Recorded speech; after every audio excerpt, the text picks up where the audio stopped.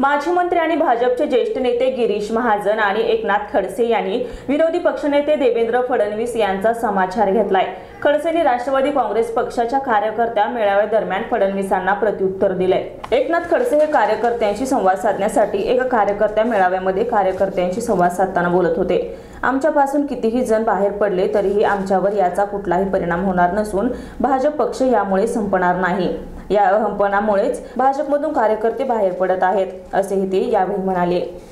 पण साहेबांना सांगितलं आमचे अपूर्ण राहिलेले प्रकल्प जे आहेत माझ्या मुक्ताईनगरपासून इथपर्यंत त्या प्रकल्पांना वेग आला पाहिजे प्रकल्प सुरू झाले पाहिजे शेतकऱ्यांच्या शेतात पाणी आलं पाहिजे. जोपर्यंत या भागात या भागाला न्याय मिळाला रोहिदास दाजी मुख्यमंत्रीपदाच्या शर्यतीपर्यंत पोहोचले मधुकरराव चौधरी मुख्यमंत्रीपदाच्या शर्यतीपर्यंत पोहोचले एकनाथ खडसे मोठ्या मेहनतीने तिथपर्यंत पोहोचला. साऱ्या महाराष्ट्रामध्ये कोकणामध्ये तीन मुख्यमंत्री झाले मराठवाड्यात चार मुख्यमंत्री झाले विदर्भात सहा मुख्यमंत्री झाले. पण या उत्तर महाराष्ट्रामध्ये एकही मुख्यमंत्री झाला नाही. त्यांना होऊ द्यायचा नाही. आपल्याला न्याय मिळाला नाही. Azhar Pathan star Maharashtra news Dhule.